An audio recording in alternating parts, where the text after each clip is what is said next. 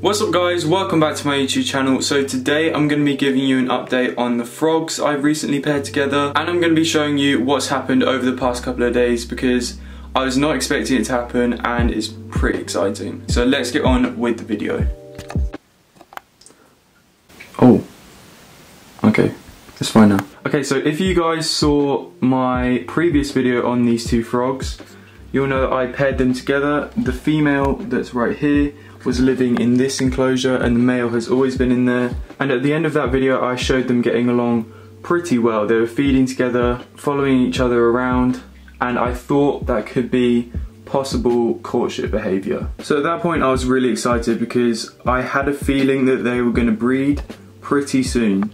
Only a couple of hours after I introduced them both, they were both getting along pretty well. And courtship behaviour between male and female dart frogs is basically the male calling to the female and he makes this buzzing sound I'll put in a clip here.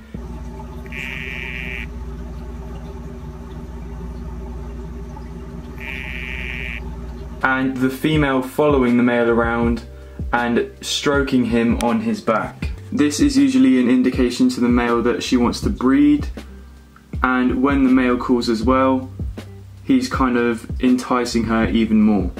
Oh, she's got a leaf stuck to her back. So they were showing all of these signs of breeding and then the next evening I checked their little coconut hut behind there and I put down a little petri dish just in case they did decide to breed. And it's quite dark back in that corner so I have to use a torch to kind of see if anything's in there. And I literally just checked that corner just in case there were any eggs and I found five eggs from the female. I was not expecting this at all, especially not within a day of putting them in together. But I looked up online that you could either take them out as soon as you see them and it might encourage them to lay another clutch of eggs or you could leave them in there until they're tadpoles and then you could take them out. I chose to take them out straight away and care for them myself because I feel like that would be the best way to ensure that most of them have a better chance of survival. So yeah, if you can see back there, there's a coconut hut with a petri dish under it. That's a new one that I put under there if they want to lay eggs again. And I also put another one right here. So yeah, I took them out and now I'm caring for them myself and I'll show you guys what I'm keeping them in at the moment. So this is what I'm keeping them in at the moment. As you can see, it's just a normal plastic tub. And if I lift this lid off, those are the eggs. So I'm not sure if you can see, but there are five eggs and one of them I think is infertile, but the rest are fertile, which is really good for the first time that the females laid eggs. This one right here in the middle is the one I think is infertile because it's a lighter colour than the rest.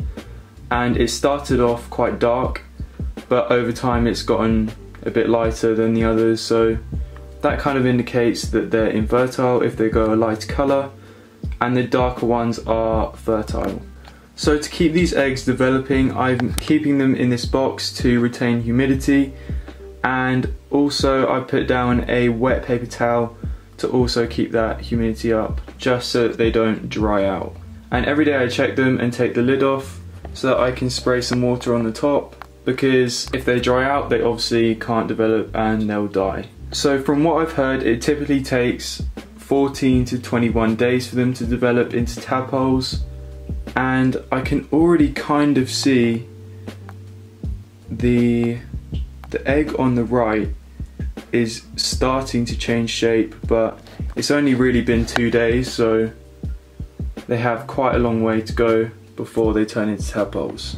And as for the adults, it should take them one week to a month to start breeding again and I might get some more eggs. So now that I know they're a pair, I'm going to keep them together and see what happens basically. So there's a female on this little I think it's a Pringles lid actually. And they like to lay their eggs on smooth surfaces, so that's why they like Petri dishes and lids and things like that. They also might lay their eggs in bromeliad, so I've been checking in there as well because of the smoother leaves and the fact that they're so close to the water in the middle. So yeah, that's what's going on with these frogs at the moment. I'll give you guys updates on the tadpoles as they develop and I'll be sure to film videos on them as I raise them up because I've never done this before and I want to share the experience with you guys. So that's all for this video. If you enjoyed then don't forget to leave a like and comment below and subscribe to my channel if you haven't already.